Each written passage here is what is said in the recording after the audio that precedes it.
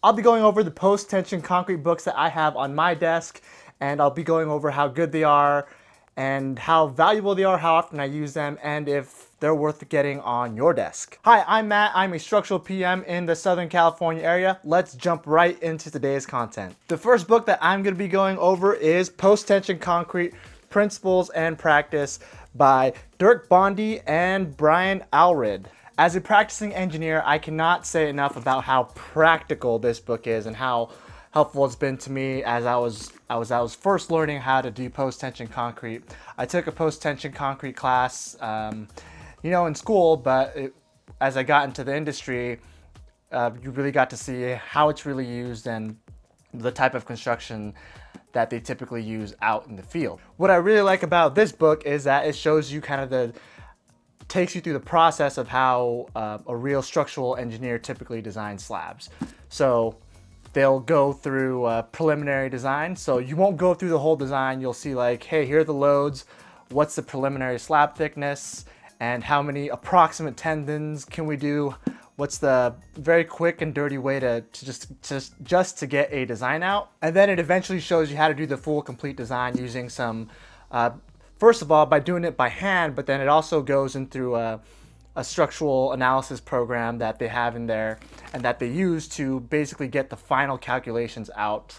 And it shows you how to do the complete structural design of a post-tension concrete slab. I think what really separates this book from all the others is just how practical it is. It actually goes into things that you don't really encounter in your theoretical books. So they'll go into um, how they shore things, um, what's what to look out for when you're out there in the field. So common field errors that you can watch out for. So I learned a lot of things on that just uh, before going to the field. I read up on some of these things that, that really helped me out. It also goes into podium designs. That's a thing, at least in California and, and in the US, it's becoming more and more popular and it's pretty common now. So it, it goes over some of the detailing issues, some of the construction issues that you you don't really see in theoretical books. And another thing that I really liked about it is that it went into seismic design pretty well.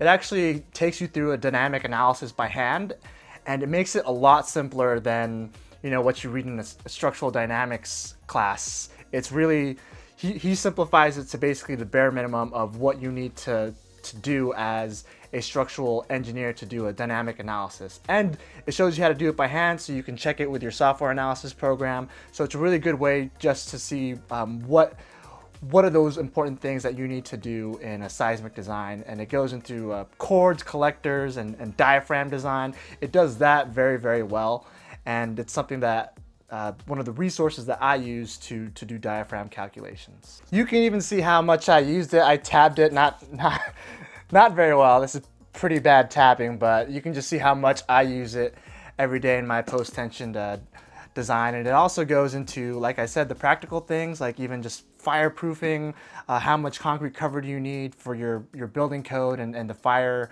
uh, requirements. So things like that that you don't really see in theoretical books. That's why I highly, highly recommend this book if you're a practicing structural engineer that's uh, mainly doing buildings. So hands down, you should absolutely get this book. I believe Bondy and Allred have a new version, a fourth edition of this. I'll link it down below in the description below. Another cool thing is that uh, Bondy has a YouTube channel. He actually lectures about this and he has recordings of all his classes on YouTube. So if you've never taken a concrete, a post-tension concrete design class, and you want to go through his lectures, he has that up on YouTube for free. So I will link his channel below also. The next book I have on my desk is the Post-Tensioning Manual, uh, 6th edition.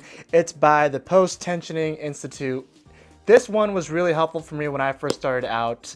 I didn't really know what post-tensioned concrete looked out looked like in the field. Uh, so this book actually had a lot of pictures, a lot of uh, how they construct it, what post-tensioning is, and how the different types of uh, applications it has in the field, not just with slabs, but it also goes through how they do bridges and storage tanks and different types of slabs and beam systems. What's really good with the post-tensioning manual and that I found pretty valuable were the details in it. So a lot of the details that they have in there, if your firm does a lot of post-tension concrete, those are pretty much where they're pulling the details from because they're they're pretty standard, but it kind of breaks down the details and why those details um, are like that. It also has a lot of example calculations, not just with different types of systems, but it also has seismic design calculations uh, if you're in a seismic area. It has lots of field photos, so you get to know a lot about it, and it goes over some of the history of post-tension concrete also. So for me, I'm rating it as a good to have. It's it's not absolutely essential, but you know I've referenced it plenty of times. Uh, looking at details and why we're doing details that way. So it's definitely good to have on your desk. I'll link that uh, book below also. The last book I have on my desk is Pre-Stress Concrete, A Fundamental Approach by Edward Nawy. This was the book that I had when I was taking a post-tension concrete classes uh, uh, during my my undergrad. I used this book during my undergrad post-tension concrete classes and uh, definitely a good theoretical book to have on hand if you need to dive deeper into um, some of how the concepts like shrinkage and pre-stress losses. A very good book to have. I used it a couple times to do a little more research.